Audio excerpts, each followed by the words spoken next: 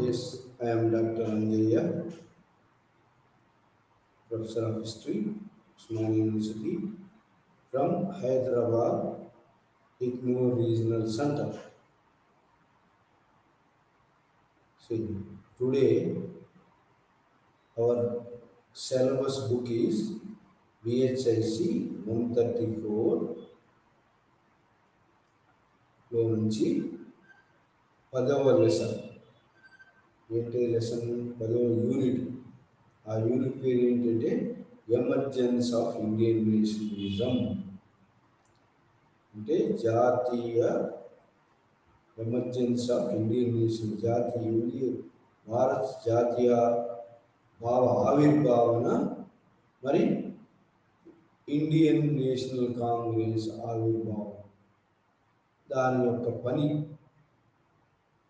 మరి ఆ ఒక ఇండియన్ నేషనల్ కాంగ్రెస్ యొక్క పని work of Indian national congress from nineteen eighteen eighty five నుంచి up to the nineteen hundred and twenty దాకా. Nineteen hundred nineteen hundred and eleven twelve దాకా discuss చేయబోతున్నాం.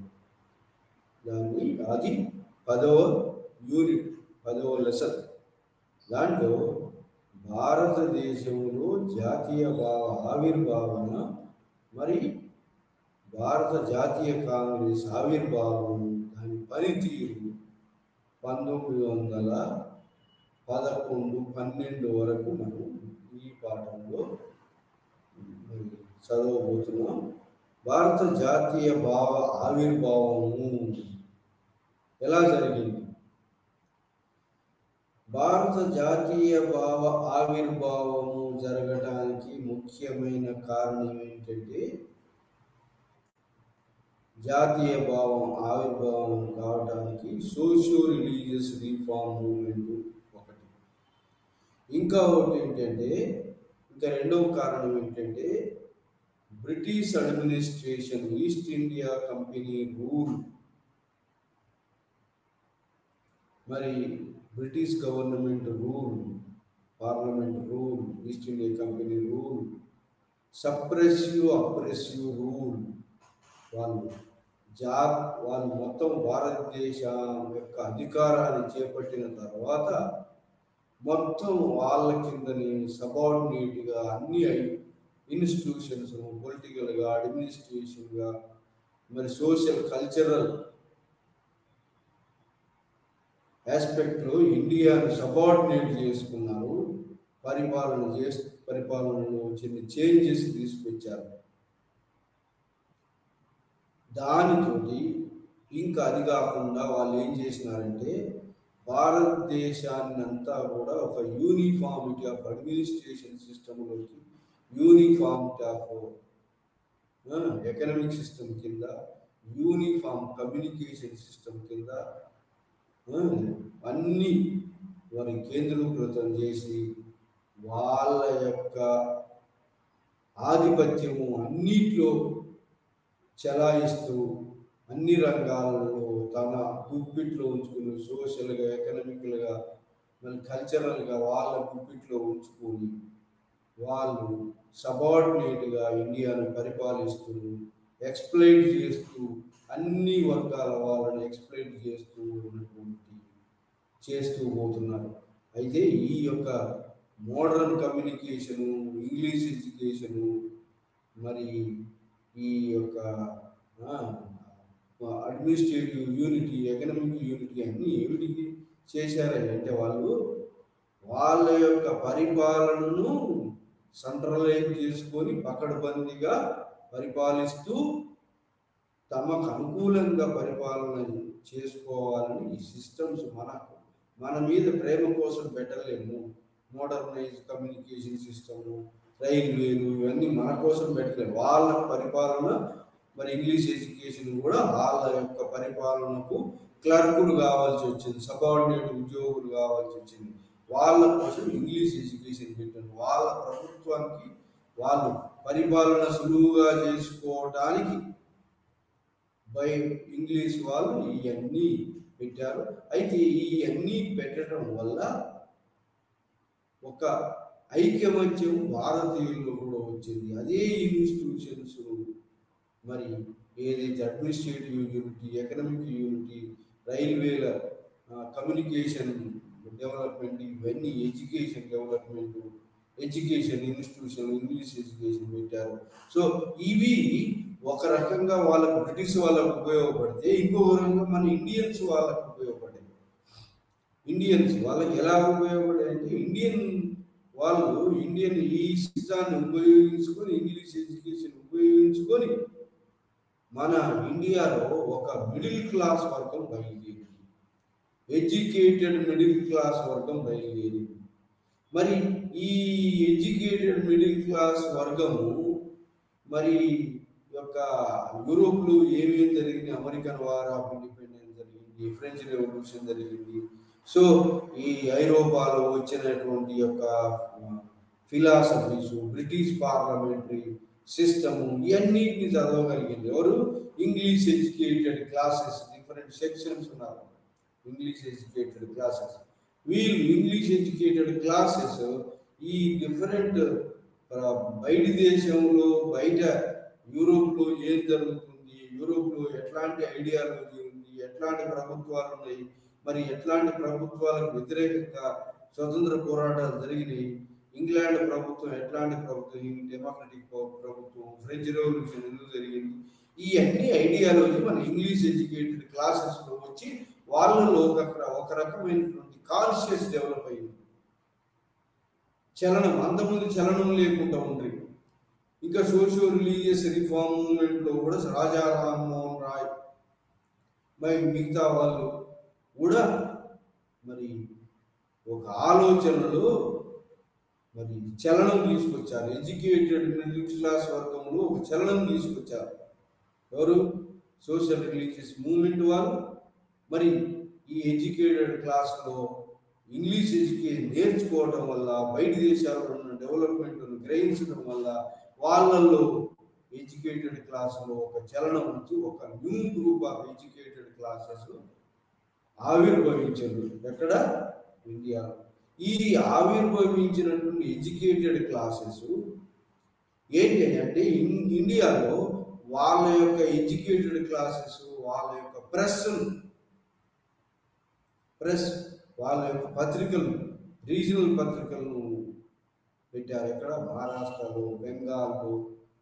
మరి ఎన్నో పత్రికలు వాళ్ళు రాశారు ఇంకోటి. ఆ కాలంలో మరి ఈ యొక్క బ్రిటిష్ పరిపాలన స్వభావాన్ని ఆ యొక్క పత్రికలలో రీజనల్ పత్రికలలో మరి నేషనల్ పత్రికలలో బ్రిటిష్ పరిపాలన యొక్క స్వభావాన్ని ఎత్తి చూపడం మొదలుపెట్టారు.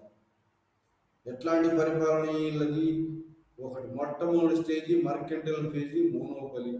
రెండవ ఫేజు ఇండస్ట్రియల్ ఫేజు ఎక్స్ప్లైటేషన్.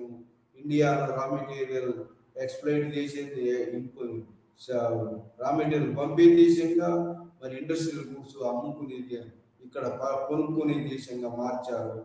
మరి ఇలా అన్ని దారులు ఏమిటి అంటే ఆ పరిపాలన ఏమిటి బ్రిటిష్ వాళ్ళు ఏమిటంటే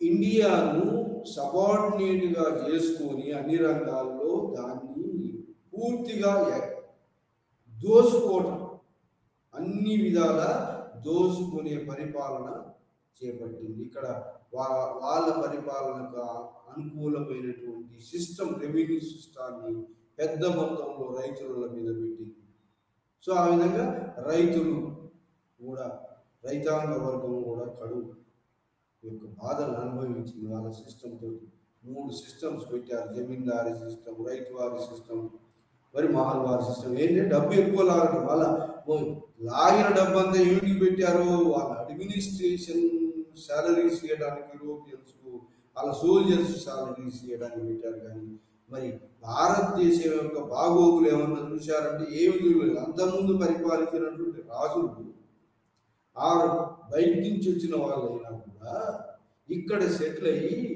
ఇక్కడనే ఏదైనా సంపాదించింది ఇక్కడనే ఖర్చు పెట్టేవాళ్ళు. కానీ బ్రిటిష్ వాళ్ళు అట్లా కాదే. ఏంటిది? వాళ్ళు ఎంతసేపు డబ్బు దోసుకొని ఇక్కడ ఈ దాన్ని ఈ డబ్బునంతా వస్తువులు పర్చేజ్ చేసి మళ్ళా మధ్యవర్తి వర్తకం చేసి డబ్బు మొత్తం ఇంగ్లాండ్కు చేరేస్తున్నారు ఇది ఇలా మోనోపలిగా ఎక్స్ప్లైటేషన్ జరుగుతుంది మొత్తం మీద. మరి ఇండస్ట్రియల్ రెవల్యూషన్ తర్వాత ఫ్రీ ట్రేడ్ ఫ్రీ ట్రేడ్ అట్లా మొత్తం ఇండియాను రా మెటీరియల్ పంపే దేశంగా ఇంగ్లాండ్ మిషనరీస్కు మరి అక్కడ మిషనరీ తయారైన వస్తువులను దిగుమతి చేసుకునే దేశంగా తయారు చేశారు. ఇలా తయారు చేసినటువంటి యొక్క ఈ exploitative రూల్ను English educated classes new middle class ఎవరైతే ఉన్నారో ఎడ్యుకేటెడ్ క్లాసెస్ కాన్షియస్నెస్ వచ్చి వాళ్ళ యొక్క ప్రెస్ ద్వారా బుక్స్ పబ్లిష్ చేయడం ద్వారా పాంప్లెంట్ పబ్లిష్ చేయడం ద్వారా ప్రెస్ ద్వారా ప్రెస్లో ఆర్టికల్స్ రాయడం ద్వారా బాంబే గెజిట్. అలా. మరి ఇలా న్యూస్ పేపర్లో బుక్లెట్స్లో మరి పాంప్లెట్స్ ద్వారా మరి మరి న్యూస్ పేపర్స్ ద్వారా బెంగాల్ గెజెట్ మరి మిగతా సో ఇలా మరి న్యూస్ పేపర్ మద్రాసు నుంచి వచ్చేటువంటి న్యూస్ పేపర్లు ఆంధ్రపత్రిక మరి కేరళ పత్రిక ఆ, ఆ తర్వాత హిందూ పేపరు మహారాష్ట్ర నుంచి వచ్చిన మరాఠీ పేపరు కేసరి పేపరు మరాఠీలో మరా మరాఠీ పేపర్ బెంగాల్ బెంగాల్ గెజిట్ బెంగాల్లో బెంగాల్ గెజిట్ తర్వాత ఇండియన్ మిర్రర్. ఇట్లాంటి నేషనల్ మరి రీజనల్ వర్నాకులర్ పత్రికలు ద్వారా ఇండియా ఎలా ఎక్స్ప్లెయిన్ చేయబడుతుంది అని మరి ఎలుగెత్తి బ్రిటిష్ యొక్క స్వభావాన్ని నేచర్ ఆఫ్ రూల్ను ఈ మరి పేపర్లలో ఆర్టికల్స్ ద్వారా పబ్లిక్ బుక్స్ ద్వారా మిడిల్ క్లాస్ వర్గం ప్రచారం చేయటం మొదలుపెట్టింది. ఈ విధంగా లిటరరీ లిటరరీ ఎక్స్ప్రెషన్ చేశారు ఎవరు? ఇంగ్లీష్ ఇస్ కాన్షియస్ డెవలప్ అయినటువంటి ఇంగ్లీష్ ఎడ్యుకేటెడ్ క్లాస్. అయితే English educated class eighteen fifty seven రివోల్ట్ని ఏమన్నారంటే దాంట్లో ఇంగ్లీష్ ఎడ్యుకేటెడ్ పాత్ర లేదు కానీ దాన్ని నేషనల్ జాతీయ తిరుగుబాటు అని పిలవడం మొదలుపెట్టారు. సో ఆ విధంగా మరి ప్రజలలో కాన్షియస్ తీసుకొచ్చి తీసుకొచ్చినారు ఇదే టైంలో బ్రిటిష్ పరిపాలకులు ఏం చేస్తున్నారు? లార్డ్ లిట్టన్ ఉండేది. Vernacular press act press freedom association freedom వాళ్ళు మాట్లాడుకునే లేకుండా రిస్ట్రిక్షన్స్ విధించడం వాళ్ళ మూమెంట్స్ మీద మరి ప్రెస్ యాక్టివిటీస్ మీద regional regional press act vernacular press act తీసుకొచ్చారు ఎయిటీన్ సెవెంటీ ఎయిట్లో సో ఇలా మరి ప్రెస్ ఫ్రీడాన్ని మరి వాళ్ళ యొక్క ఫ్రీడాన్ని అణిచివేయటం మొదలుపెట్టారు. బ్రిటిష్ వాళ్ళ యొక్క తప్పులు ఎత్తి చూపేటువంటి ప్రెస్ను అణిచివేయటం మొదలుపెట్టారు. ఇలా అణిచివేయ టైంలో వాళ్ళు ఇంకా ఏం చేశారంటే ఇలా కాకుండా ఇంకొక ఇన్స్టిట్యూషన్స్ కూడా ఇంగ్లీష్ మిడిల్ క్లాసు ఇది యూరోప్లో ఉన్నటువంటి యూరోప్ మోడల్గా ఉన్నటువంటి యొక్క ఆర్గనైజేషన్ పొలిటికల్ ఆర్గనైజేషన్ లేదా కల్చరల్ ఆర్గనైజేషన్ కల్చరల్ యాక్టివిటీస్ కానీ పొలిటికల్ యాక్టివిటీస్ కానీ ఆర్గనైజేషన్స్ బిల్డప్ చేశారు అట్లా మొట్టమొదటి ఎయిటీన్ థర్టీలో థర్టీ ఎయిట్లో బెంగాల్ ల్యాండ్ హోల్డర్ సొసైటీ అనేది ఒకటి వచ్చింది ఆ తర్వాత బెంగాల్ ప్రెసిడెన్సీ అసోసియేషన్ బెంగాల్ నుంచే వచ్చింది. అట్లా మద్రాస్ నుంచి మద్రాస్ మహాజన సభ అనేది వచ్చింది. బాంబే నుంచి బాంబే ప్రెసిడెంట్ ఏమిటి ఈ అసోసియేషన్ అంటే ఇంగ్లీష్ మోడల్లో ఇంగ్లాండ్ ఉన్న మోడల్లో ఒక పబ్లిక్ యొక్క ఒక సాధక బాధకాలు ఈ ఆర్గనైజ్డ్ అసోసియేషన్ ద్వారా బ్రిటిష్ ఈ కంపెనీ గవర్నమెంట్కు ఆర్ బ్రిటిష్ ఇండియన్ గవర్నమెంట్కు రిప్రజెంట్ చేసి ప్రజల యొక్క ఆ రీజన్ ఆ ప్రాంతం యొక్క మరి సమస్యలు తీర్చుకోవటం కోసం అని చెప్పి రీజనల్ ఆర్గనైజేషన్స్ వచ్చినాయి. రీజనల్ ఆర్గనైజేషన్స్ వచ్చినాయి. రీజనల్ ఆర్గనైజేషన్సే కాకుండా మరి నేషనల్ వైడ్గా ఆర్గనైజేషన్స్ కూడా మొదలైనవి. ఓ పూనా సార్వజనిక సభ వచ్చింది. పూనా సార్వజనిక సభతో పాటు బెంగాల్ ఇండియన్ నేషనల్ కాన్ఫరెన్స్ అనేది ఆల్ ఇండియా అసోసియేషన్ లాంటిది వచ్చింది. ఎవరు సురేంద్రనాథ్ బెనర్జీ ఎయిటీన్ సెవెంటీలో ఇండియన్ అసోసియేషన్ ఏర్పాటు చేసిన దాని ద్వారా ఏంటి?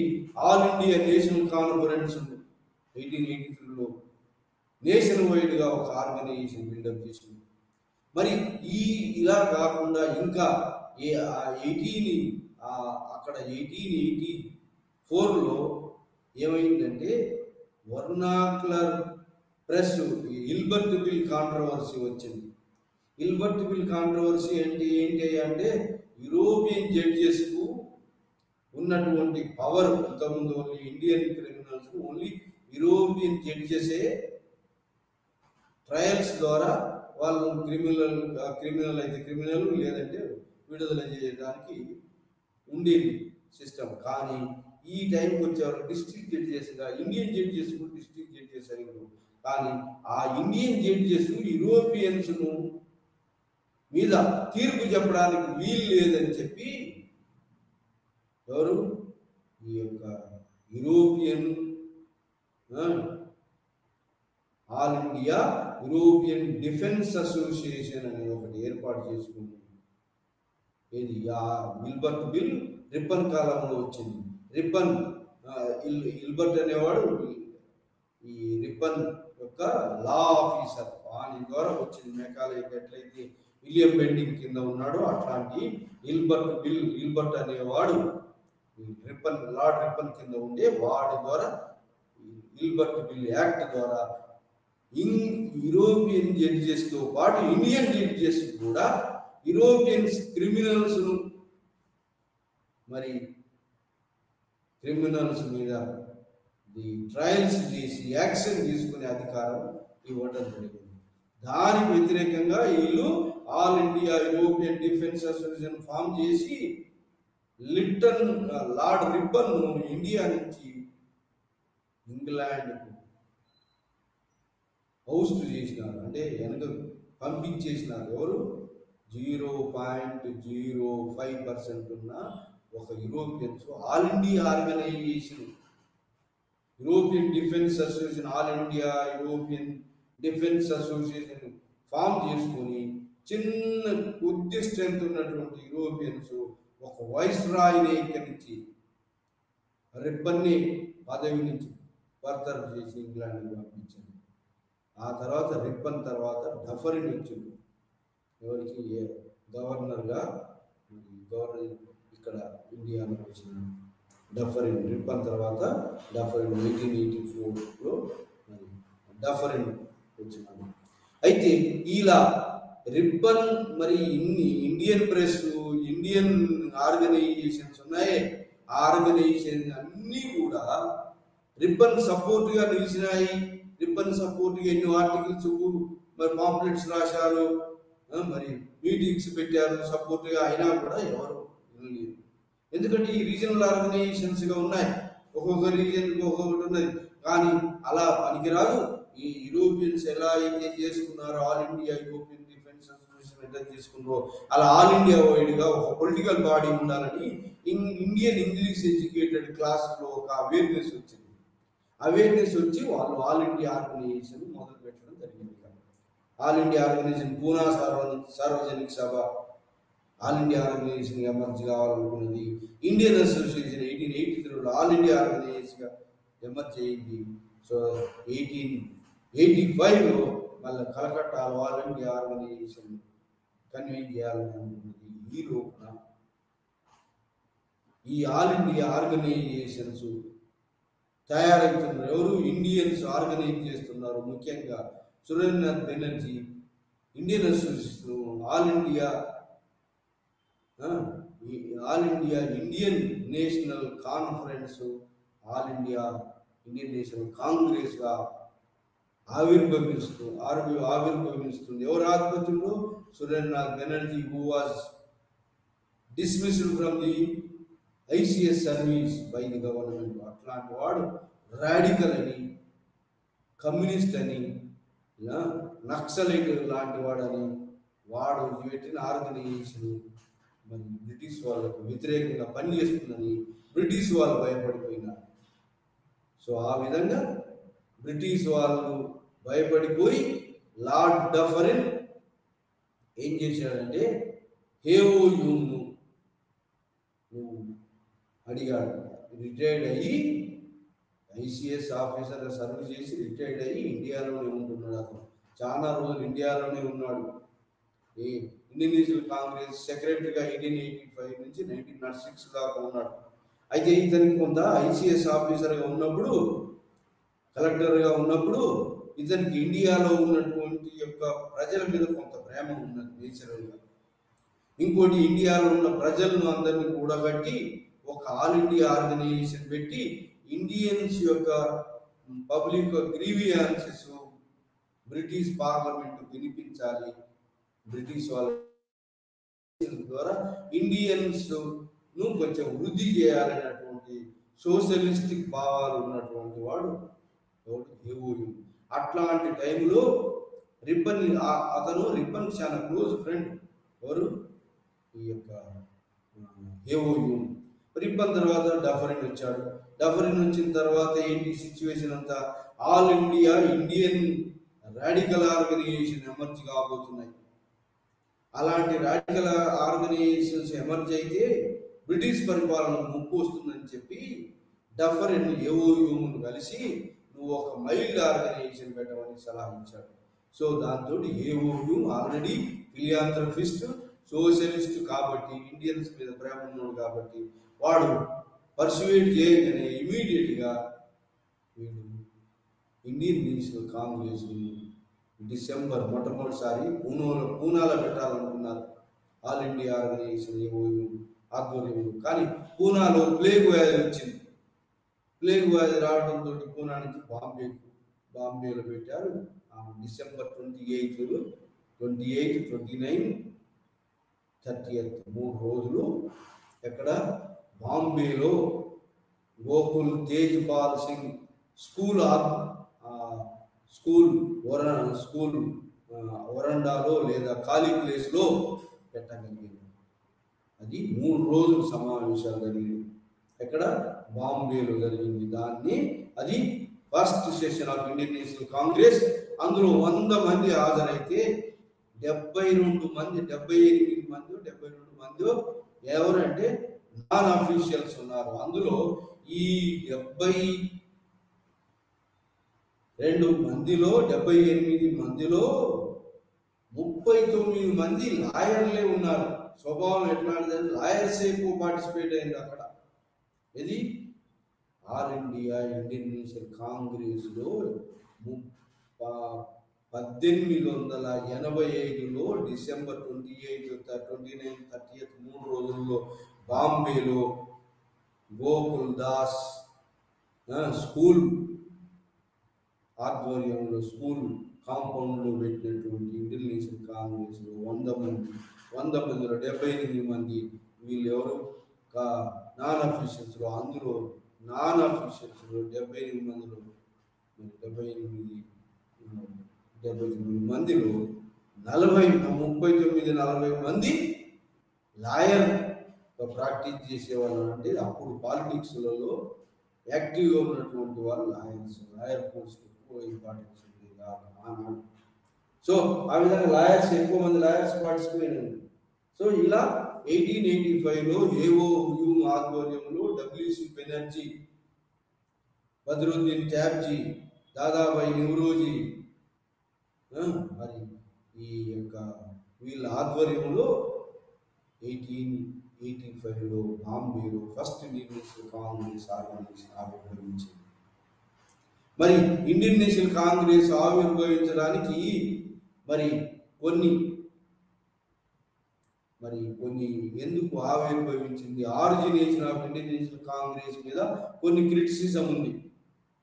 మూడు రకాల క్రిటిసిజం ఉంది. ఒకటి ఏంటంటే ఇది official conspiracy Europeans Lord Dufferin ఏఓయూములు ఇద్దరు కలిసి ఒక రాడికల్ ఆర్గనై ఆల్ ఇండియా ఆర్గనైజేషన్స్ రాబోతున్నాయి. Surendranath Banerjee a ICS officer dismiss from service అనే అటువంటి యొక్క అతని కాంగ్రెస్ మిగతా ఆల్ ఇండియా ఆర్గనైజేషన్స్ కొన్ని ఎమర్జీ కాబోతున్నాయి.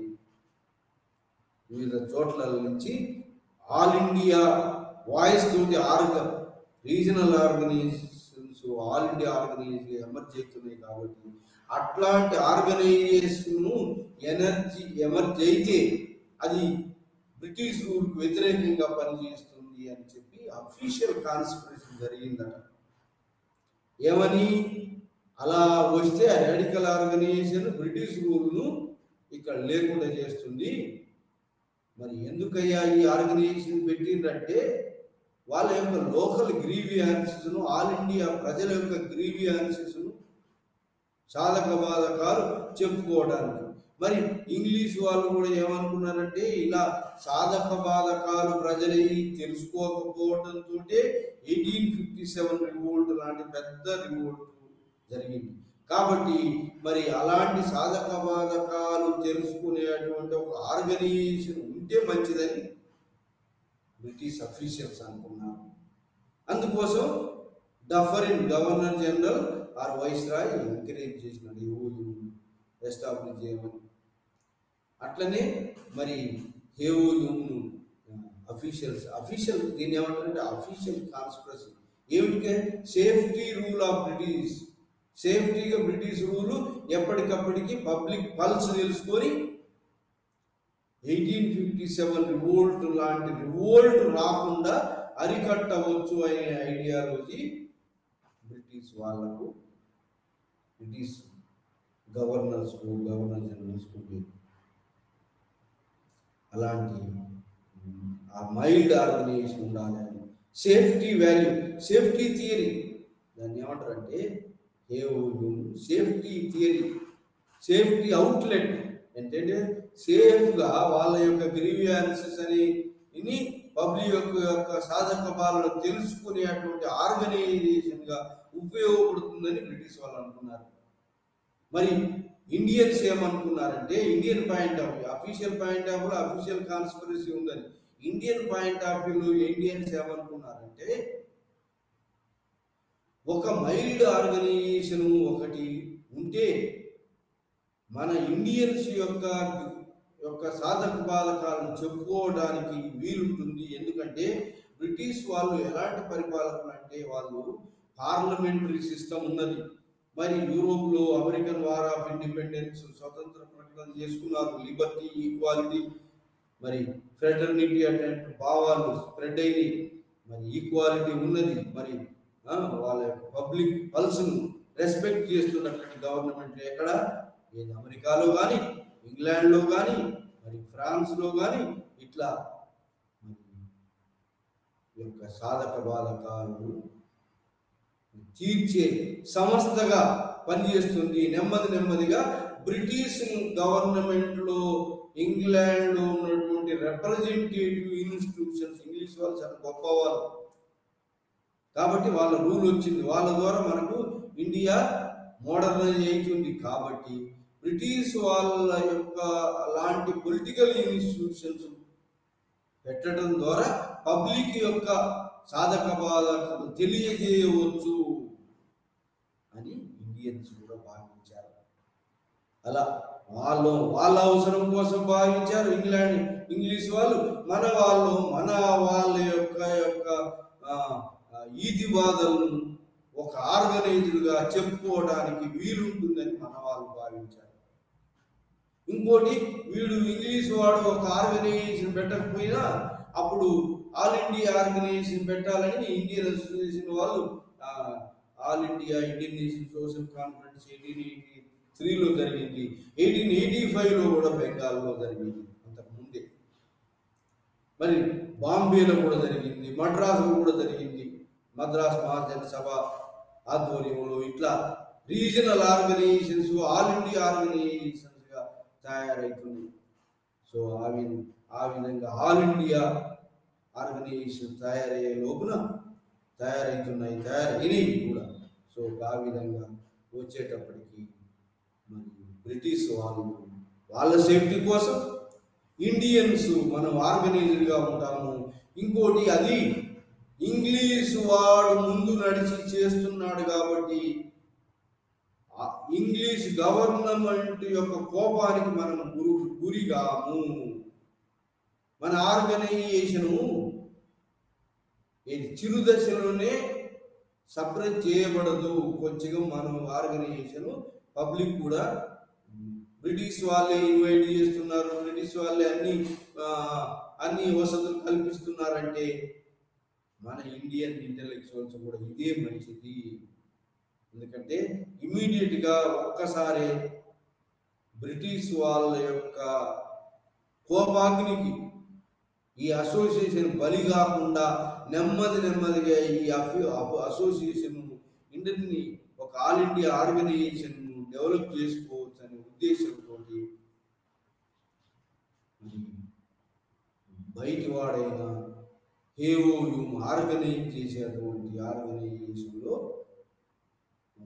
ఇండియన్స్ పార్టిసిపేట్ అయినప్పుడు వంద మంది వంద మందిలో డెబ్బై తొమ్మిది ఎనభై మంది ఇండియన్స్ డెబ్బై డెబ్బై ఎనిమిది మంది ఇండియన్స్ ఉన్నారు. మిగతా వాళ్ళు అఫీషియల్స్ ఉన్నారు. సో ఈ విధంగా అఫీషియల్ నాన్ అఫీషియల్స్ ఉండటం జరిగింది ఈ యొక్క ఇండియన్ నేషనల్ కాంగ్రెస్లో. మరి ఆ విధంగా పద్దెనిమిది వందల ఎనభై ఐదులో ఇది ఆర్గనైజేషన్ ఎమర్జ్ అయింది. మన ఇండియన్స్ ఇండియన్స్ వైపు ఆలోచించారు. మరి యూరోపియన్స్ బ్రిటిష్ రూలర్స్ వాళ్ళ సేఫ్టీ వాల్యూ కోసం ఆలోచించారు. మరి ఏదేమైతేంది ఈ టైంలో ఒక ఆల్ ఇండియా ఆర్గనైజేషన్ ఉండాలనేది అందరూ ఆమోదం పొందింది. అందరికీ కూడా ఆల్ ఇండియా ఆర్గనైజేషన్ ఉంటే కానీ ఎయిటీన్ ఫిఫ్టీ సెవెన్ రివోల్ట్ లాంటి రివోల్ట్ను మళ్ళీ రాకుండా చూసుకోవచ్చు అని చెప్పి బ్రిటిష్ వాళ్ళ మదిలో వచ్చింది ఇండియన్స్ మిడిల్ క్లాస్ మదిలో వచ్చింది. ఒక ఆర్గనైజేషన్ ఉంటేనే కానీ మనం మన ఇండియన్స్ యొక్క ఈది వాదన చెప్పుకోవడానికి వీలుంటుందని. కాబట్టి ఒక ఆర్గనైజేషన్ కావాలనే అవసరం need need for all India organisation అనే ఒక భావన ఇండియన్స్ లోపల కూడా కలిగింది. కాబట్టి ఇండియన్స్ గ్యాదర్ అయ్యి ఆ విధంగా నీడ్ ఫర్ ఆల్ ఇండియా ఆర్గనైజేషన్లు ఉద్దేశంతో బాంబేలో eighteen eighty five twenty eighth twenty nine thirty eighth December మంత్లో ఒక ఆల్ ఇండియా ఆర్గనైజేషన్ ఆవిర్భవించింది. పద్దెనిమిది వందల ఎనభై ఆరులో official invitation official facilities governors అన్ని ఫెసిలిటీస్ కలగజేసిన బాంబే సెషన్ అన్ని ఫెసిలిటీస్ ఫుడ్ అండ్ షెల్టర్ ఆ తర్వాత ఎయిటీన్ ఎయిటీ ఫైవ్లో సురేంద్రనాథ్ బెనర్జీ కూడా అతని యొక్క ఇండియన్ ఆల్ ఆల్ ఇండియా ఆర్గనీ conference all India national కాన్ఫరెన్స్ను all India organisation Surendra Banerjee organisation కూడా ఎయిటీన్ ఎయిటీ సిక్స్లో కలకత్తా సెషన్లో దాన్ని కూడా దీంట్లో మెర్జ్ చేసింది. ఆ విధంగా ఒక organised Indian national Congress eighteen eighty five eighteen eighty సిక్స్కు only one organisation for for getting the political concessions from the Britishers British rulers so ఆ విధంగా కొన్ని వాళ్ళ ద్వారా ఐక్యంగా ఉండి బ్రిటిష్ పరిపాలనల ద్వారా కొన్ని రాయితీలు పొందాలనే ఒక ఉద్దేశంతో మరి ఆల్ ఇండియా ఆర్గనైజేషన్స్ అన్నీ కూడా. పద్దెనిమిది వందల ఎనభై ఆరు కలకత్తా సెషన్ వరకులో సురేంద్ర బెనర్జీ కూడా కలిపేసిన దాంతో ఆల్ ఇండియా ఆర్గనైజేషన్ అయింది. కానీ ఈ ఆర్గనైజేషన్కు ఒక పర్మనెంట్ బాడీ అనేది లేదు. ఒక every three every year three డేస్లో పార్టిసిపేట్ అవుతారు మరి పార్టిసిపేట్ అయ్యి త్రీ డేస్లో వాళ్ళ యొక్క కాంగ్రెస్ ఇండియన్ కాంగ్రెస్ డిమాండ్స్ మైల్డ్గా రిప్రజెంటేషన్ ఇన్స్టిట్యూషన్ అని ఇన్స్టిట్యూషన్ ఇండియాలో ఇన్స్టిట్యూట్ ఇంట్రడ్యూస్ చేయాలని civil service examination age limit అని ఏజ్ లిమిట్ కూడా ఇంప్రూవ్ చేయాలని ఎగ్జామినేషన్ కూడా ఇండియా ఇండియాలో మరి ఇంగ్లాండ్లో రెండు సా- రెండు చోట్ల సైమిల్టేనియస్గా కండక్ట్ చేయాలని ఇండియన్స్ సివిల్ సర్వీస్లో తీసుకోవాలని ఆర్మడ్ ఫోర్సెస్లో ఇండియన్స్ను ఇండియన్స్ ప్రమోషన్ చేయాలని ఆర్మడ్ ఫోర్సెస్కు పెట్టేటువంటి యొక్క ఖర్చు తగ్గించుకొని తగ్గించుకోవాలని మిగతా మిగతా వెల్ఫేర్ ప్రోగ్రామ్స్ ఎక్కువ ధనం కేటాయించాలని Indian Congress or Indian Congress petitions ద్వారా. ఎట్లాంటి అంటే పిటిషన్స్ ద్వారా చెప్పుకోవస్తుందని చెప్పి అలా ఎయిటీ ఎయిటీ ఫైవ్లో ఒక పర్మనెంట్ బాడీ లేకుండా ఎయిటీ సిక్స్ ఆ తర్వాత కొద్దిగా బాడీ లాంటిది తయారైంది. సో ఇది all India Indian national Congress ఆవిర్భావం జరిగింది. మరి ఆవిర్భవించిన తర్వాత మరి ఏఓయు ఆధ్వర్యంలో eighty five to nineteen eighty five eighty nineteen eighty five eighty six Calcutta eighteen nine eighteen eighty seven మద్రాస్లో జరిగింది మద్రాస్ కాంగ్రెస్ ఇండోనేషియన్ కాంగ్రెస్ సెషన్లోనే లార్డ్ డఫర్ అని ఏమన్నాడంటే Indian National Congress is a dominated by Brahmin Bengali babus ఇది ఎవరికి represent చేయదు? Only ఈ బెంగాల్ బాబూస్కు బ్రాహ్మిన్ లాబీస్కు రిప్రజెంట్ చేస్తుందని క్రిటిసైజ్ చేశారు. దాంతో వాళ్ళ యొక్క అఫీషియల్ ఫెసిలిటీస్ ఏదో కలిగిస్తున్నాడు. ఇండోనేషియా కాంగ్రెస్ దాన్ని కాస్త స్లోగా విత్డ్రా చేసుకునేటువంటి ఎయిమ్తో గవర్నమెంట్ ఉన్నది. ఇంకా మళ్ళీ ప్రెస్ యాక్ట్ అవన్నీ కూడా మళ్ళా రెస్టోర్ చేసి సపరేట్ చేయడం ఆర్గనైజేషన్ సపరేట్ చేయాలని ప్రయత్నం చేసి మొదలుపెట్టింది. సో ఈ విధంగా ఎయిటీన్ ఎయిటీ ఫైవ్లో వచ్చినటువంటి యొక్క ఇండియన్ నేషనల్ కాంగ్రెస్ మోడరేట్స్ దాన్ని మొట్టమొదటిసారి ఉన్నటువంటి యొక్క ఆర్గనైజేషన్ మోడరేట్స్ ఉన్నారు వాళ్ళు.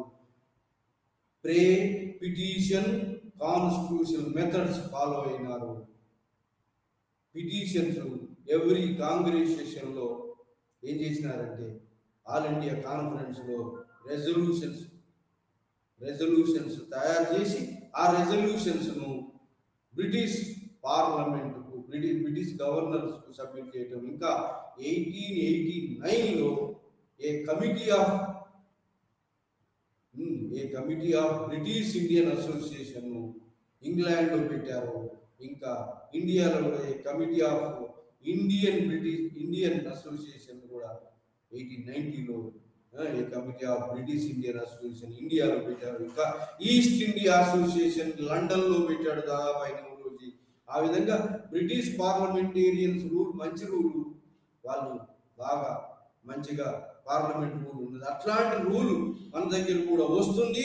ఇక్కడ ఉన్నటువంటి ఆఫీసర్స్ బ్యూరోక్రట్స్ తప్పు అని పార్లమెంట్ మాత్రం బ్రిటిష్ పార్లమెంట్ పార్లమెంటేరియన్స్ వాళ్ళకి తెలియదు. ఇక్కడ ఉన్న కండిషన్స్ ఇక్కడ బ్యూరోక్రసీ మనకు డిక్టేటరిజము ఎక్స్ప్లైటేషను పార్టిజాన్ యాటిట్యూడ్ చూపిస్తుంది కానీ అక్కడ మాత్రం లేదు. కాబట్టి పార్లమెంట్ రిప్రజెంట్ చేయాలి. మరి గవర్నర్ జనరల్ రిప్రజెంట్ చేయాలి పార్లమెంట్ పార్లమెంట్ రిప్రజెంట్ చేయాలి. కాబట్టి ఒక ఆర్గనైజేషన్ ఉండాలి ఆర్గనైజేషన్స్ ఇక్కడ మరి ఇంగ్లాండ్లో కూడా అప్పటికి పద్దెనిమిది వందల తొంభైలో దాదాబాయి రోజు ఎలక్ట్ అయిన ఎక్కడ? ఇంగ్లాండ్ పార్లమెంటులో మరి ఎలక్ట్ అయినాడు అతని ఆ విధంగా ఇంగ్లాండ్ పార్లమెంట్లో ఒక మెంబర్గా కౌన్సిల్ మెంబర్గా ఇతను ఇతను నామినేట్ చే చేయబడి ఇతన్ని ఎలక్ట్ చేయబడ్డాడు నామినేట్ చేయబడ్డాడు. కాబట్టి దాదాబాయి రోజు ఇంగ్లాండ్లో ప్రెస్ ద్వారా మరి పాంప్లెట్స్ ద్వారా ఆర్టికల్స్ ద్వారా బ్రిటిష్ పార్లమెంటేరియన్స్కు కన్విన్స్ చేయటం ఇండియాలో ఇండియన్ వైస్ రాయిని కన్విన్స్ చేసి చేయటం బ్రిటిష్ రూల్ గొప్పది అని చెప్పటం మరి బ్రిటిష్ రూల్కు మనం లాయాలిటీ ఉంటున్నాం. బ్రిటిష్ రూల్ భగవంతుడు ఇచ్చింది కాబట్టి మరి విత్ ఇన్ ది బ్రిటిష్లో మనం రిప్రజెంటేటివ్ ఇన్స్టిట్యూషన్స్ పెట్టాలని సివిల్ సర్వీస్లో ఇండియన్స్ను తీసుకోవాలని ఆ తర్వాత ఆర్మీ ఎక్స్పెండిచర్ తగ్గించాలని మరి అగ్రికల్చర్ మిగతా పంటలకు ప్రోత్సాహం ఇవ్వాలి అని చెప్పి అగ్రికల్చర్. సో ఆ విధంగా ఆర్మీ ఖర్చు తగ్గించుకొని భారతదేశ అభివృద్ధికి ప్రణాళికలు.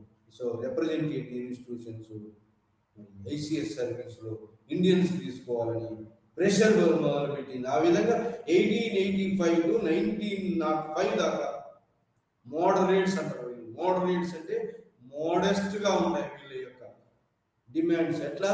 Pray petition and begging prayer చేయటం గొప్ప రూల్ అని పిటిషన్ పెట్టడం మరి బెగ్గింగ్ చేయటం. ఇది మెథడ్ ఇలా మెథడ్ ఒక ఇరవై సంవత్సరాలు ఫాలో అయిన ఎవరు? మోడరేట్స్ లీడర్స్ ఇరవై సంవత్సరాలు ఫాలో అయితే దాదాపు నెహ్రూజీ సురేంద్రనాథ్ బెనర్జీ డబ్ల్యూసి బెనర్జీ అప్పుడున్నటువంటి మోడరేట్స్ దా గోపాలకృష్ణ గోఖలే. మరి బజరుద్దీన్ మరి చాప్జీ సో ఇలా స్టార్ మోడ్స్ అందరూ ఉన్నటువంటి ఇంటలెక్చువల్ స్టార్ మోడ్స్ అందరూ కూడా ఇలా మోడెస్ట్ వేలో prayer petition method constitution method follow అయ్యింది ఇరవై సంవత్సరాలు ఫాలో అయ్యి ఎన్నెన్నో డిమాండ్ చేసి ఆఖరికి ఏమి బ్రిటిష్ గవర్నమెంట్ ఏమి ఇచ్చిందంటే eighteen ninety two councils act ద్వారా ఇండియన్స్ కొంతమంది వైస్ రాయ్ ఎగ్జిక్యూటివ్ కౌన్సిల్ పెట్టుకోగలిగారు. అంతే. ఎన్నో డిమాండ్ చేస్తే ఈ యొక్క చిన్న కన్సెషన్ ఇచ్చారు. ఇండియన్ రిప్రజెంటేటివ్ ఎలక్టివ్ రిప్రజెంటేటివ్స్ను వైస్రాయ్ ఎగ్జిక్యూటివ్ కౌన్సిల్లో పెట్టుకోవడం అనేటువంటి కొంత సడలింపు ఇచ్చినారు. ఇది. అయితే ఇక ఏ విధమైన మార్పు రావట్లేదు ఈ బ్రిటిష్ అఫీషియల్స్. వీళ్ళు ఎంత ఇరవై సంవత్సరాలు కప్పల్లాగా ఏది ఈ డిసెంబర్లో మీటింగ్ పెట్టుకోరు. మీటింగ్ పెట్టుకొని కప్పల్లాగా అరవడం రిప్రజెంటేషన్ ఇవ్వడం కానీ ఏది? వాళ్ళు వినకపోవడం ఈల్డ్గా ఏ ఎట్లాంటి రీఫార్మ్స్కు సంస్కరణ ఈల్డ్ కాకపోవడం జరుగుతుంది అట్లాంటి టైంలో కొందరు young educated classes educated classes ఈ మోడరేట్స్ బెగ్గింగ్ పద్ధతి మా బాగలేదని మహారాష్ట్ర నుంచి బాలగంగాధర్ తిలక్ మరి బెంగాల్ నుంచి బిపిన్ చంద్రపాల్ అరవింద ఘోష్ మరి పంజాబ్ నుంచి లాలాజపతి లజపత్ రాయ్ అలా Rabindra Bankim Chandra Chatterjee Anandamath novel flight of indigo plantations ఆ విధంగా నేషనలిస్ట్ ఫీలింగ్ ఆల్రెడీ ఎమర్జీని సో ఈ విధంగా ఈ బ్రిటిష్ వాళ్ళను వాళ్ళను మెడలు ఉంచి కొన్ని రీఫార్మ్స్ తీసుకురావాలి రిప్రజెంటేటివ్ ఇన్స్టిట్యూషన్ తీసుకురావాలని రాడికల్ వర్గం బయలుదేరింది అట్లాంటి టైంలో ఏంటయ్యా అంటే పార్టీషన్ ఆఫ్ బెంగాల్ పంతొమ్మిది వందల మూడు నుంచి ఆ partition of Bengal lord Curzon వచ్చిన కాడి నుంచి బెంగాల్ పెద్ద పెద్ద east east east united Bengal is dangerous కాబట్టి డివైడ్ చేయాలని చెప్పి లార్డ్ కర్జన్ ఒక మూడియో తోటి ఏం చేసి రెండు బెంగాల్గా డివైడ్ ఈస్ట్ బెంగాల్ వెస్ట్ బెంగాల్గా డివైడ్ చేసి ముస్లిం మెజారిటీ ఈస్ట్ బెంగాల్గా తయారు చేయాలని లార్డ్ కర్జన్ బెంగాల్ యూనిటీని బ్రేక్ చేయాలని చెప్పి ఇంటలెక్చువల్ బెంగాల్ ఇన్స్టి యునైటెడ్ బెంగాల్ పెద్ద ఇన్స్టిట్యూషన్ చేసి బ్రిటిష్ వాళ్ళకి వ్యతిరేకంగా తయారైతుంది కాబట్టి దాన్ని డివైడ్ చేయాలి. అడ్మినిస్ట్రేటివ్ పర్పస్లో డివైడ్ చేయాలంటే మరి ఇండియన్స్ ఇండియన్స్ కాంగ్రెస్ వాళ్ళు అన్ని ఆర్గనైజ్ ఆర్గనైజేషన్ నుంచి ఈ ఆర్గనైజేషన్ నుంచి పిటిషన్స్ పెట్టారు రిప్రజెంటేటివ్ పెట్టారు. ఈ నువ్వు అడ్మినిస్ట్రేటివ్ పర్పస్ అయితే బీహార్ బెంగాల్ ఒరి బీహార్ ఒరిస్సాను సపరేట్ చేయి ఎందుకు బెంగాల్ ఎందుకు డివైడ్ చేస్తావు? ఈ యొక్క డివైడ్ చేయొద్దు. బీహార్ ఒరిస్సా అడ్మినిస్ట్రేషన్ ఆస్పెక్ట్లో భరద్వాన్ అట్లాంటి వాటి కొన్ని సపరేట్ చేయి అని ఎన్నో మెమోరియల్స్ పిటిషన్ పెట్టినా కూడా లార్డ్ కర్జన్ తన యొక్క డిటర్మైన్డ్ ఉద్దేశంతో బెంగాల్ విభజించాలి బెంగాల్ ఇంటలెక్చువల్స్ విభజించాలి ముస్లిం డామినేటెడ్ ఏరియా ఈస్ట్ బెంగాల్గా క్రియేట్ చేసి ఈ ఇద్దరు బెంగాల్ని కొట్టుకొని ముస్లింస్ హిందూస్ కొట్టుకునేటట్టుగా తయారు చేయాలని చెప్పి ఉద్దేశంతో లార్డ్ కర్జన్ బెంగాల్ విభజనను పార్లమెంటుకు బ్రిటిష్ పార్లమెంట్ రికమెండ్ చేసినాడు. బ్రిటిష్ పార్లమెంట్ నుంచి శాంక్షన్ వచ్చింది. ఆ సిక్స్టీన్త్ అక్టోబర్ నాడు డివిజన్ కూడా వచ్చింది. ఈ ఈ విధంగా డివిజన్ రావడంతో బెంగాలీలంతా ఈస్ట్ బెంగాల్ వెస్ట్ బెంగాల్ అందరూ కూడా మరి సమా పెద్ద సమావేశం జరిపారు. బెం- కలకట్టాలో పెద్ద సమావేశం సమావేశంలో అంతకుముందే ఈ బ్రిటిష్ పరిపాలనల ద్వారా ఎక్స్ప్రె ఇండిగో ఎక్స్ప్రైట్ నీలిమందు యొక్క రైతుల యొక్క బాధలను మరి రైతులను పీడించడాన్ని ఇవన్నీ నీలబ నీలదర్పణ పత్రిక ద్వారా మరి దినబంధు మిత్ర అనేటువంటి పత్రిక ద్వారా మరి హైలైట్ చేస్తూ వచ్చారు బ్రిటిష్ వాళ్ళ యొక్క ఎక్స్ప్లైటివ్ ఆస్పెక్ట్ను మరి ఈ విధంగా ఎన్నో రిప్రజెంటేషన్స్ ఇచ్చినప్పటికీ బెంగాల్ డివిజన్ జరగడం జరిగింది. అక్టోబర్లో జరిగినప్పుడు అప్పుడు ఈ రవీంద్రనాథ్ ఠాగూర్ బంకించంద్ర చటర్జీ వీళ్ళందరూ ఉమ్మడిగా రక్షాబంధన్ నిర్వహించారు కలకట్టాలో పెద్ద సమా వేల మంది తోటి సమావేశం జరిపారు. ఆ సమావేశంలో ఉమ్మడిగా ఎక్స్ప్రెస్ చేసినారు. బ్రిటిష్ రూల్కి వ్యతిరేకంగా డివిజన్ పార్టీషన్ ఆఫ్ బెంగాల్ వ్యతిరేకంగా ఒక ఉద్యమాన్ని తీయాలని నిర్ణయించుకున్నారు. ఆ ఉద్యమాన్ని ఏమన్నారంటే boycott the foreign purchase the swadeshi. ఎందుకు? బ్రిటిష్ మ్యాన్చెస్టర్స్కు ఇది పరిశ్రమలకు దెబ్బ తగిలితేనే కానీ వాళ్ళు వింటారు లేకపోతే వినరు కాబట్టి ఎక్స్ట్రీమిస్ట్ గ్రూప్ తయారయ్యి బైకాట్. బైకాట్ పార్టీషన్ ఆఫ్ బెంగాల్కి ప్రొటెస్ట్గా boycott the foreign burn the foreign adopt the swadeshi swadeshi purchase. National education. ఈ విధంగా మరి ఈ మూమెంట్ను సపరేట్ చేయాలని వందే మాత్రం మూమెంట్ వందే మాత్రం సాంగ్ ఎవరు పాడితే వాడిని అరెస్ట్ చేయడం ఆ విధంగా సపరేషన్ రిప్రెషన్ గురి చేసింది. ఎవరైతే బిపిన్ చంద్రపాల్ అండ్ అరవింద్ ఘోష్ లాల్ లజపత్ రాయ్ భారత తిలక్ అందరిని అరెస్ట్ చేసి జైల్లో వేసింది. ఎక్స్ట్రీమిస్ట్ ఆ ఎక్స్ట్రీమిస్ట్ అంటే boycott swadeshi is my birth Purchase the the swadeshi the the foreign boycott the foreign ఆ విధంగా ఇనీషియల్ పీరియడ్లో మోడరేట్స్ చేయగలిగింది ఏంటి అంటే మోడరేట్స్ కప్పల్లాగా ఎవ్రీ ఇయర్ వచ్చినప్పటికీ మోడరేట్స్ అఫీషియల్ యొక్క కోపాన్ని రాకుండా చిన్న ఆర్గనైజేషన్ అనేటువంటి యొక్క ఒక వంద మందితో తయారైనటువంటి ఆర్గనైజేషన్ ఆల్ ఇండియా వైడ్గా వివిధ ప్రాంతాల్లో ప్రొవిన్షియల్ కాంగ్రెస్ కమిటీస్ను వాళ్ళ యొక్క కమిటీస్ ద్వారా ఆర్గనైజేషన్స్ బిల్డప్ చేసి నేషన్ వైడ్ బాడీగా చేయగలిగింది. ఇది మోడరేట్స్ యొక్క ఎఫర్ట్స్ వల్ల. మోడరేట్స్ ఎఫర్ట్స్ మోడరేట్స్ ఏం సాధించలేదు కప్పల్లా కలిశారని అంటున్నారు. కానీ ఒక ఆ ఇనీషియల్ పీరియడ్లో ఉన్నటువంటి యొక్క తొలి దశలో ఉన్నటువంటి మడ్ అది బ- ఇది ఈ యొక్క ఏమంటారు? ఈ అప్పుడే ఆరిజిన్ అయినటువంటి బడ్ బడ్ ప్లాంట్ బడ్ అంటారు దాన్ని. అంటే చిగురు అలా పుట్టే మొక్కను ఉంచేయకుండా ఆర్గనైజేషన్ బలంగా తయారు చేసి వివిధ శాఖోపశాఖలుగా ఆల్ ఇండియా వైడ్గా ఆర్గనైజేషన్ బిల్డింగ్ బిల్డప్ చేశారు. ఎంతో మందిని ఈ కాంగ్రెస్ ఆర్గనైజేషన్గా బ్రిటిష్ వాళ్ళకు వ్యతిరేకంగా కా ఆల్ ఇండియా ఆర్గనైజేషన్ ఆర్గనైజేషన్ ఏమి ఏంటంటే ఈ promote unity among all the people of the India without any caste creed ఏది లేకుండా అందరినీ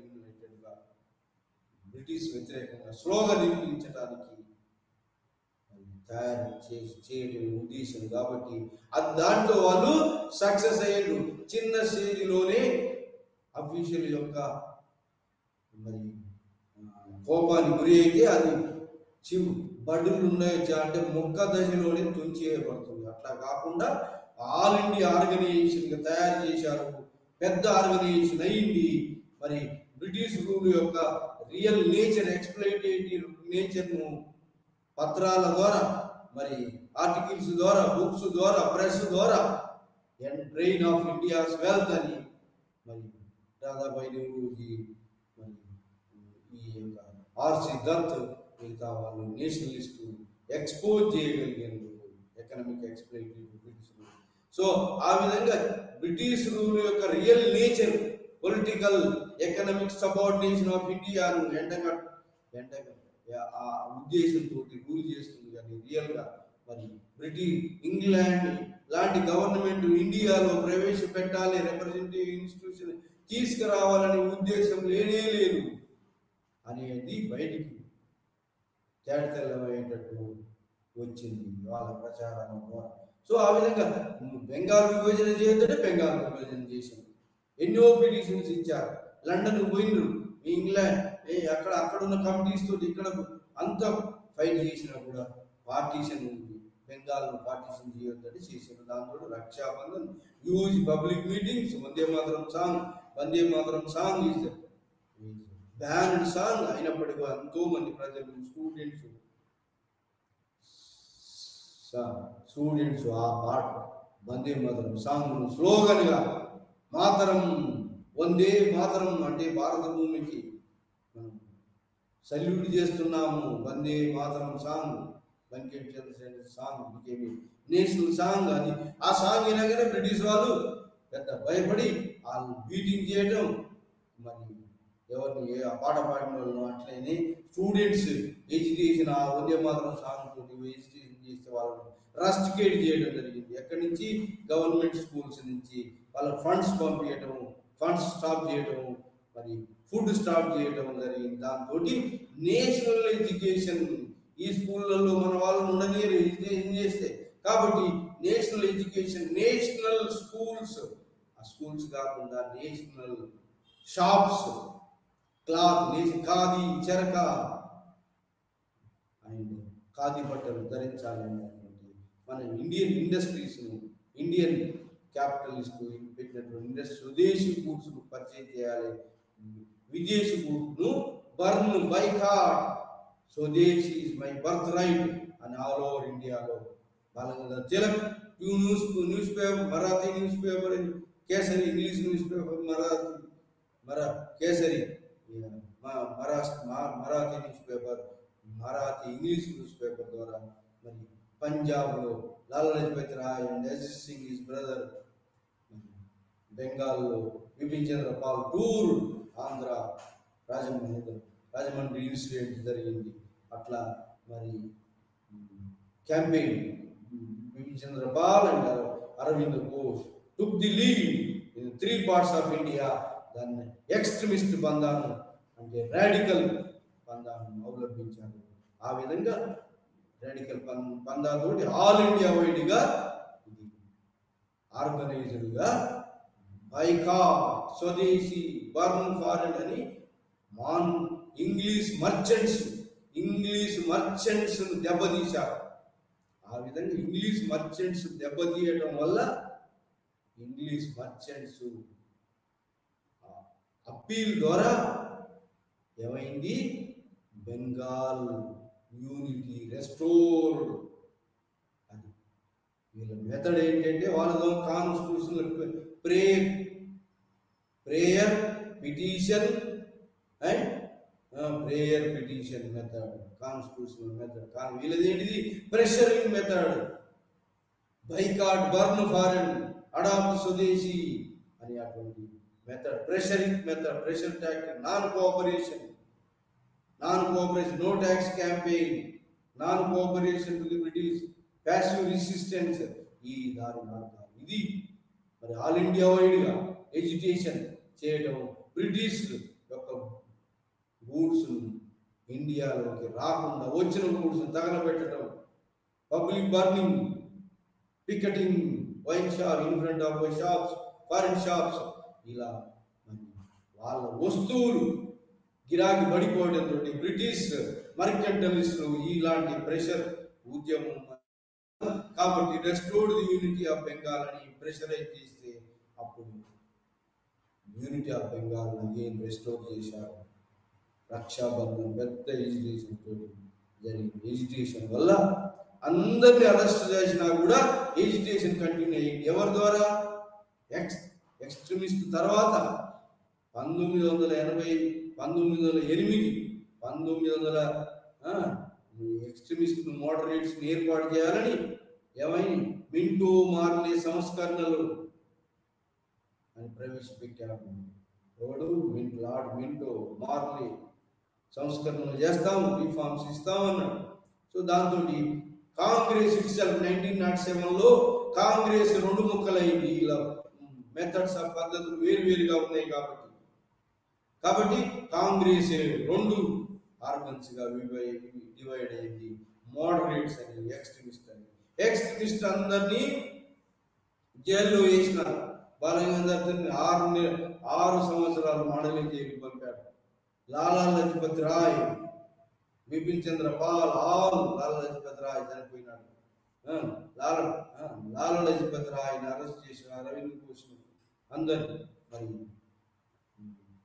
బిహైండ్ పుట్ బిహైండ్ అందరిని కూడా పుట్ బిహైండ్ వారు అలాంటి టైంలో రెవల్యూషనరీస్ బాంబ్ ఎవరైతే బ్రిటిష్ వాళ్ళు ఈ ఆఫీసర్స్ ఎక్సెస్గా బిహేవ్ చేసి ఇండియన్ వాళ్ళను పని చేసినారో ఇండియన్ యొక్క ఇండియన్ ప్యాట్రియాటిక్ స్ట్రగుల్ చేసేటువంటి మాతృదేశం కోసం స్ట్రగుల్ చేసే వాళ్ళను జైళ్ళలో పంపిండ్రు అలాంటి ఆఫీసర్స్ బాంబు ద్వారా వాయు వైలెన్స్కు వైల్ బాంబు ద్వారా బాంబును ఎదుర్కోవడానికి బాంబే కావాలని బాంబులు తయారు చేసి అలాంటి అన్పాపులర్ బ్రిటిష్ అఫీషియల్స్ మీద వేయడం మొదలుపెట్టారు. దాన్ని టెర్రరిస్ట్ యాక్టివిటీస్ అంటారు. అవి అభినవ భారత్ మహారాష్ట్ర అనుశూలన్ సమితి ఇది బెంగాల్. అట్లనే ఇంకా ఏంటి అంటే Ghadar party outside of India ఎక్కడ అంటే అమెరికా నుంచి అట్లా ప్యారిస్ నుంచి మరి ప్రొవిజనల్ గవర్నమెంట్ ఆఫ్ఘనిస్తాన్ నుంచి ఎక్స్ట్రీమిస్ట్ ఆర్గనైజేషన్ కూడా పనిచేసినాయి. సో ఏదేమైతేంది పంతొమ్మిది వందల పదకొండులో బెంగాల్ యూనిటీని మళ్ళా రెస్టోర్ చేసినారు. పార్టీషన్ ఆఫ్ బెంగాల్ రద్దు చేసి బెంగాల్ రీయునైట్ చేసి మరి బ్రిటిష్ వాళ్ళ యొక్క క్యాపిటల్ను బెంగాల్ నుంచి ఢిల్లీ మార్చుకున్నారు. ఆ విధంగా మరి వందే మాత్రం మూమెంట్ ఎక్స్ట్రీమిస్ట్ మూమెంట్ ఏ ఉద్దేశంతో అయితే మరి జరిగిందో వందే మాత్రం మూమెంట్ ఆ ఉద్దేశము రెస్టోర్డ్ యూనిటీ ఆఫ్ బెంగాల్ జరిగింది.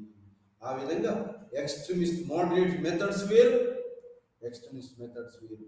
అయినప్పటికీ extremist boycott and swadeshi burn by అనే టాక్టిక్స్ తోటి ప్రెషరైజ్ టాక్టిక్స్ తోటి మాన్ బ్రిటిష్ మర్కంటలిస్ట్ దెబ్బ కొట్టి సక్సెస్ అయిండ్రు. ఆ విధంగా రెస్టోర్డ్ ది బెంగాల్ యూనిటీ ఆ విధంగా కలకత్తా నుంచి ఢిల్లీకి మార్చుకున్నారు. యునైటెడ్ బెంగాల్ పెద్ద డేంజరస్గా ఉంది. వాళ్ళకు ఎడ్యుకేషన్స్ ఎక్కువైనాయి. సో ఈ విధంగా మరి జాతీయ భావం ఆవిర్భవించింది. ఇండియన్ నేషనల్ కాంగ్రెస్ ఎమర్జ్ అయింది.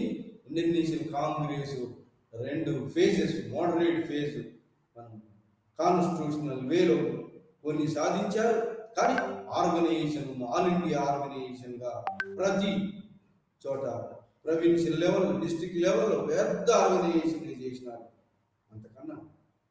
మొట్టమొదటి మొట్టమొదట్లే బ్రిటిష్ వాళ్ళ వ్యతిరేకత లేకుండా శివ శేషు శిశువు దశలో అలా పెద్దగా ఎదిగిన దాక ఇండియన్ నేషనల్ కాంగ్రెస్ కాపాడగలిగిన మోడరేట్స్ సాధించింది తక్కువైనా ఎక్కువ చేయగలిగిన ఒక అది ఒక పెద్ద చెట్టుగా గొడ్డలతోటి కొడితే కూడా పోకుండా అట్లాంటి చెట్టు మానులాగా తయారు చేశారు మోడరేట్స్ ఎక్స్ట్రీమిస్ట్ ఏమన్నారంటే ఈ బెగ్గింగ్ మెథడ్ మాకు పనికిరాదు అని చెప్పి ప్రెషరైజ్ టాక్టిక్స్ చేశారు. ఆ విధంగా moderates extremist and terrorist groups పంతొమ్మిది వందల